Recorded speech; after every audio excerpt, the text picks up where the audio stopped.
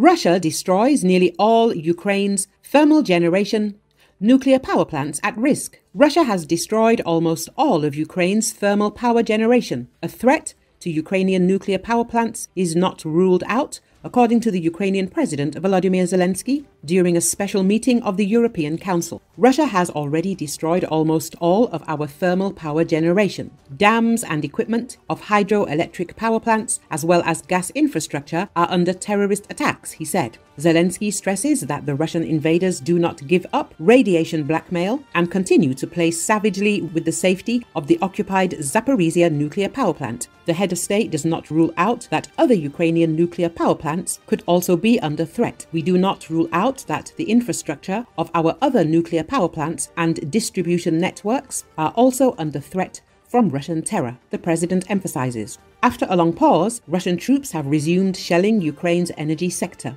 Russians are attacking Ukrainian substations and thermal power generation. For example, the Zmiiv thermal power plant in the Kharkiv region was seriously damaged. On April the 11th, the Trypillia thermal power plant in Kiev region was also destroyed. In addition, the General Staff of the Armed Forces of Ukraine warned that Russians are preparing false flag provocations at Zaporizhia nuclear power plant. Russia is the only terrorist in the world holding a nuclear power plant hostage and using it to blackmail Ukraine and the entire world.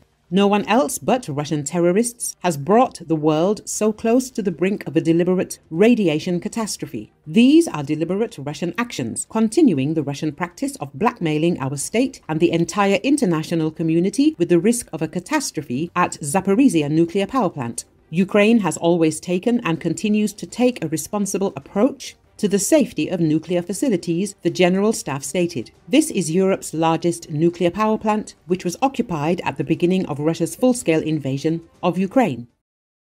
Russia may transfer fighter jets and air defense equipment to Iran. Russia is considering providing Iran with modern fighter jets and air defense equipment to protect it from Israeli and US attacks. Military cooperation between Moscow and Tehran has reached a new level, reports The Washington Post. According to the data, Iran has opened a new dangerous chapter in its relations with Russia by agreeing to supply thousands of combat drones and missiles in 2022 to help Moscow in its war against Ukraine.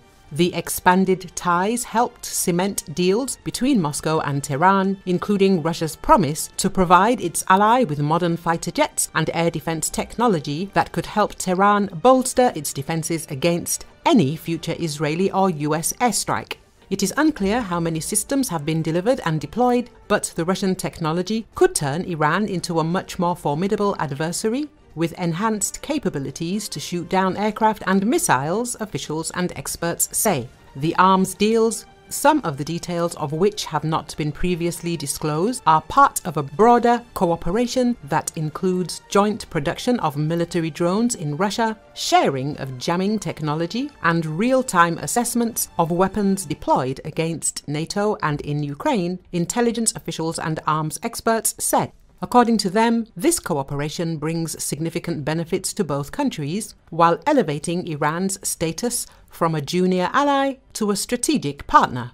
Intelligence officials said that Russia is pushing forward with secretly concluded deals to supply Iran with Su 35, one of Russia's most powerful fighter bombers. On the defense side, Iran has long been asking Russia for the latest anti aircraft missile batteries to protect its nuclear and military facilities from a possible US or Israeli attack. In 2007, Tehran signed a deal to buy the Russian S 300 anti aircraft system, but Moscow postponed the delivery of the weapon due to pressure from the United States and European states. The voluntary ban ended in 2016 and Iranian S 300s became operational in 2019. Since then, Iran has sought to acquire the more powerful Russian S 400 system, although it is not publicly known whether Moscow has taken steps to supply S 400 batteries. Some S 400 variants are equipped with radars capable of countering stealth technologies used by modern military aircraft.